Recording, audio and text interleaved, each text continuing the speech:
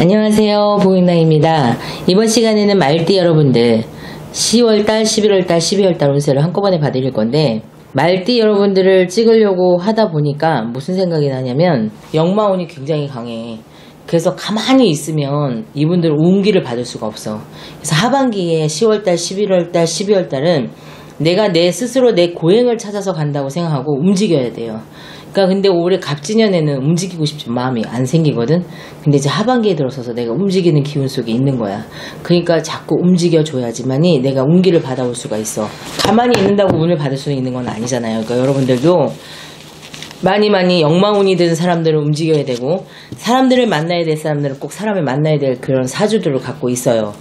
만나서 나는 구설 듣고 싶지 않으니까 더 이상 만나고 싶지 않아. 나는 안 만날 거야. 나 이렇게 살고 싶지 않아. 그런다고 피한다고 내 운명이 바뀌는 거는 아니거든. 그럼 내 기운만 더 다운이 될 뿐이야. 그러니까 자꾸 움직여줘야 돼. 가을에는 움직여줘라.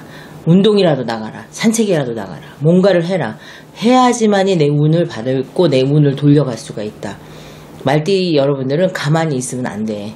자꾸 움직여야지. 그래야지 돈복도 생기고 재물복도 생기고 먹을 것도 생기는 거야. 가만히 있는다고 누가 갖다 주는 거 아니거든. 그러니까 말띠 여러분들은 많이 많이 역마운이 강하기 때문에 움직이고 바쁘게 살아야지만 더 좋은 일이 생긴다.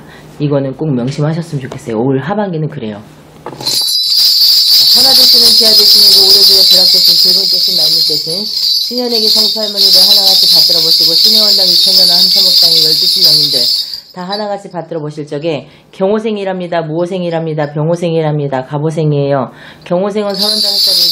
무호생은 47이고 병호생은 시우는 9이었습니다. 갑호생은 71살이랍니다. 다 두루두루 살펴보셔서 오름공수 바른공수 내리실 적에 경호생의 35살 이분들 같은 경우에는 내가 쓰임새가 어, 그동안 없었더라면 이제는 하반기에는 쓰임새가 굉장히 많아지는 거지. 그러니까 뭐라고 해서 내가 움직여야 된다 그랬잖아. 내 쓰임새가 어디에다가 어떻게 쓰여질지 모를 만큼의 재주를 갖고 있어요. 이 사람들은. 그렇기 때문에 이 금을 다룰 수 있는 재주는 불밖에 없거든. 재련을 해서 뭔가를 만들어낼 수 있는 건 불이야.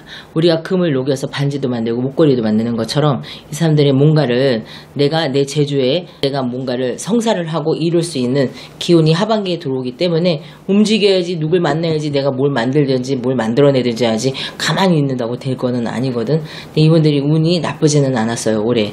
근데 올해 힘들게 상반기는 넘어왔다면 하반기에서부터는 풀려가는 운인데 특히 10월달, 11월달, 12월달은 재물복이 많아. 그래서 내가 먹고 살 녹이 생기는 거야.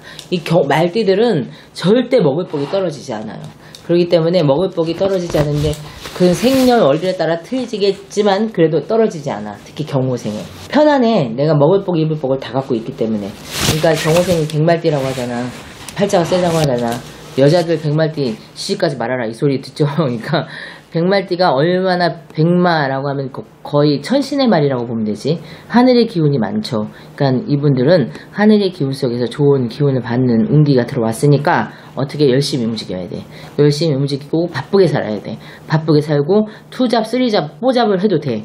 그렇게 여러 가지 일을 하다 보면 굉장히 나한테 좋은 기운이 들어와서 몸은 피곤할지 모르겠지만 활력소가 생기고 좋은 기운이 따라들고 어떤 제안이 들어와서 뭔가를 하나 더 해보지 않겠니? 뭐 어떤 회사에서 너한테 프로젝트를 하나 더 맡겨, 맡겨서 너가 이거 만들어 보지 않겠니? 이런 제안도 들어올 수 있고요. 자영업을 하시는 분들 같은 경우에는 내가 뭔가를 점점 넓혀가는 기운 속에서 넓혀가죠. 그리고 범위가 강범위해지고 하는 일이 많아져. 그렇기 때문에 그 일들 속에서 내가 바쁘게 일에 파묻혀서 살아보는 가을이 되는 거야. 근데 가을에는 단풍도 지고 막 놀러 가고 싶은 마음도 이 사람들 마음속에 있거든. 그 마음만 조금 출수 있고 내가 이번에는 조, 정말 좋다. 가을에 이때를 거머쥐자라는 마음으로 움직이신다면 괜찮을 것 같습니다. 특히 모호생 그 다음에 모호생분들은 47이잖아 이분들 성주운이 들었어. 중년 성주운. 근데 나는 성주운 들었는데 운이라고는 개똥대가리 아무것도 없는 것 같아. 이랬던 분들은 가을에 이제 운이 들어오는 거야. 그래서 가을에는 정말 이분들한테 너무 좋아요 무호생의 말띠가 가을에는 정말 내가 적토마가 막 들판을 달리는 것처럼 너무너무 멋있게 자유로운 분위기 속에서 내가 막 펼쳐갈 수 있는 거지 모든 꿈을.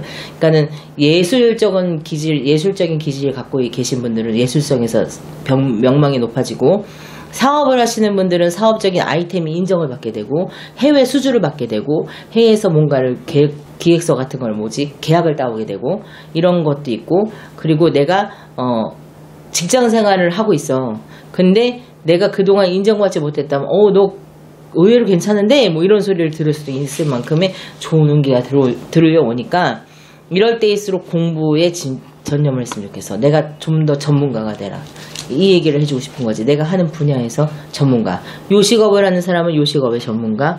예술성을 갖고 계신 분은 예술성의 전문가. 또 다른 일을 하고 계시는 분들은 또 다른 일의 전문가가 된다면 이분들은 전문가성의 기질을 갖고 내가 어떤 계약을 체결을 해도 문서를 잡는 거야. 그럼 문서는 이분들한테 많이 들어와 있어요. 그러니까 굉장히 좋죠. 그러니까 47살 모생은 저 푸른 초원은 아니고 이제 뭐지 풀 누르스름한 가을의 들판에 적토마가 막 달리는 거지. 너무너무 자유롭게 갈기를 날리면서 막 달리는 그런 기운 속이니까 달려 달려 하시면 돼요. 달려 달려 하시면 정말 좋은 일 많이 있을 겁니다. 병호생의 59살 이분들은 건강하셔야 돼요. 첫 번째도 건강, 두 번째도 건강, 세 번째도 건강. 인간 구설 조심해. 사람들이 구설 시비 속에서 내가 제 뭐 없는 말이 막 지원해서 만들어지고 주변에 시기 질투가 많아지고 그러기 때문에 이 스트레스가 많아지는 거야 가을에. 그러니까 어떻게 해야 돼? 건강해야 돼. 어, 이를 악물고 건강해. 어떻게든 건강하려고 노력해. 건강해야지 내가 살아. 그래서 내가 그 동안에 쌓았던 일들이 옛날 과거의 일들이 다시 빛을 보게 되는 시점이 오게 돼요. 그래서 내가 과거에 뭔가를 만들어 놨다면 그거는 만약에 피디님이 영상을 하나 만들어 놨어. 근데 그 영상이 아 그때는 꽝이었단 말이지. 근데 갑자기 뜨는 거야. 갑자기 다시 새롭게 부각이 되는 거야. 이런 기운 속에 있는 이분들은 내가 그 전에 과거에 만들어 쌓아왔던 업적들로 인해서 내가 다시 부각이 되고 도드라지는 기운 속에 있기 때문에 이분들은 살아나죠. 근데 이 나이에 내가 뭘 할 수 있겠어? 나는 다 죽어가는데 아니 살아나는 기운 속에 있어. 근데 이 사람들은 특징이 뭐냐? 건강만 조심하시면 돼.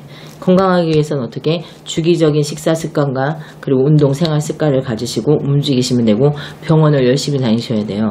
그래서 요즘에 병원이 가깝고 의술약, 의술과 의학이 발달이 되어 있기 때문에 상문 들어서 상문 부정으로 태어난 아기들도 멀쩡하게 살아나. 그러니까 병호생의 이분들은 내가 건강만 하시면 내가 과거에 만들어 놨던 일들이 다시 부각이 되고 두각이 돼서 10월달, 11월달, 12월달에는 뭔가에 부르, 부름을 받는다거나 어디에 초청을 받는다거나 어, 그걸로 인해서 내가 다시 뜬다거나 뭔가를 기획을 하거나 만들어내는 기운 속에 있기 때문에 굉장히 좋다고 저는 봅니다.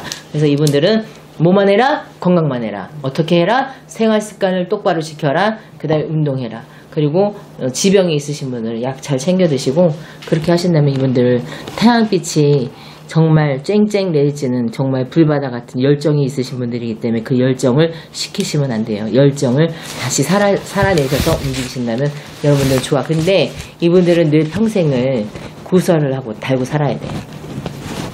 잘해도 구설, 못해도 구설이야. 그러니까 구설은 그냥 너네들이 그냥 구설인가 보다, 말인가 보다라고 생각하고 그걸 구설이라고 생각하면 구설이고, 말, 어, 내가 인기가 많아서 말하나 보다, 그럼 말인 거야. 그러니까 말이라고 생각하시고 사시면 나쁘지 않을 것 같습니다. 예술을 하셨던 분들은 내가 그동안 창고 안에 묵혀놨던 그림을 다시 띄운다거나, 뭐 인터넷 영상, 요즘에 인터넷 개발 많이 돼 있잖아요. 그러니까는 인터넷에 띄운다거나 하면 그게 뭔지 누군가의 눈에 들어서 내가 뜬다, 다시. 그거에 대해서 예술가적인 기질이 많아요, 이분들은. 창의력도 많고. 그러니까 이 창의력을 잘 활용을 하셔서 다시 성공하시길 바라겠습니다. 그리고 갑오생에 일어난 사람. 이분들 같은 경우에는 자기가 자기를 불살라. 그러니까 자기가 자기 승질을 못 이기는 것이. 근데 이 성질의 기운이 가을에 가서 더 높아지는 거죠. 그러니까 어떻게 돼? 열받는 일이 생기는 거야. 그러니까 열받는 일이 누구 때문에 생겨? 어, 가까운 지인들, 일가 친척들, 친구들 이런 사람들 때문에 열받는 일이 생겨. 열받으면 어떻게 돼? 억해. 그러니까 이 내 경색 이런 거 조심하셔야 돼. 그러니까 스트레스 많이 받지 마시고 모든 거는 순리대로 가게 돼 있어. 사람이 계속 내가 얘기했잖아요. 돈, 돈, 돈, 돈, 돈 하면 돌돌 돌아버린다고. 그러니까 돈, 돈 하지 말고. 근데 그 말띠분들이 좀, 그러니까 의리가 없는 것 같으면서도 의리가 되게 많아요. 그래서 의리를 중시하는데 특히 갑오생분들은 굉장한 의리가 있어. 투쟁하자. 투쟁하자. 이런 분들이 많았을 거야. 그러니까 이분들은 그, 그런 기운 속에 있어서 다시 내가 뭔가 시작하는데 어, 이 나이에 뭘 시작해? 어, 시작할 수 있어요.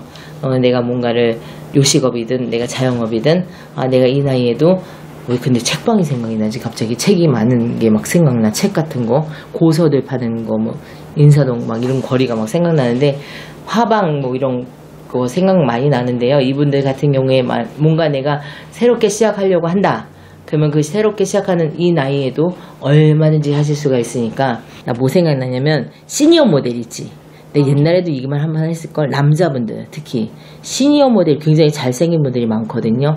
시니어 모델 내가 운동을 해갖고 몸을 만들어서 시니어 모델 한번 해보시는 건 어떨까요? 난 추천하고 싶어. 그러면 생동감 있고 생활력 그 뭐지 생기가 넘쳐서 어, 살아가는 데 있어서 그게 때로는 내가 이렇게 방송에 나올 일이 있다는 거지. 그러니까 시니어 모델 쪽으로 한번 생각해 보시는 것도 나쁘지 않을 것 같습니다. 말띠 여러분들은 대체적으로 가을이 좋죠.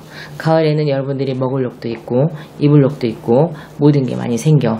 그러니까 어떻게 달려라. 한이처럼 열심히 달리시면 좋은 일이 많습니다. 그 대신 어떻게 나를 지켜가면서 나를 어, 지킨다는 건 자존감을 잃지 말고 내가 내 얼굴에 먹칠하는 말을 함부로 하죠. 이게 이분들은 직설적이야. 그러니까 직설적으로 빚지 말고 어, 따뜻한 말 한마디가 천냥빛을 갚는다. 그러니까 좋은 칭찬 많이 하시고 긍정적인 말 많이 하셔서 좋은 기운 많이 받으시기를 바라겠습니다. 감사합니다. 먼 곳에 계시다고요? 전화 상담으로 고민을 해결해 보세요. 전화번호 알려드릴게요. 010-4919-8448 010-4919-8448 예약은 필수니 꼭 참고하세요.